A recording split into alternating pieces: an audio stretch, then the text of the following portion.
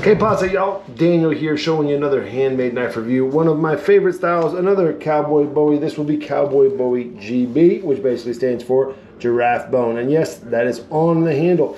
You're gonna have a five and three quarter, 5.75 inch blade in D2 steel. Once again, my favorite steel, polished forged texture here. You got a flat grind on top of a flat edge and a beautiful giraffe bone handle. This is stabilized giraffe bone. Uh, it's natural with a little bit of browns in here. I don't know if it's dyed exactly or if that's just a natural kind of grain and texture. I would put my money that it's probably dyed. You're gonna have a blade thickness of about 0.18, so a little under 3 16ths if I'm not mistaken, and an overall of about 10 and a quarter with a handle length of four and a half inches.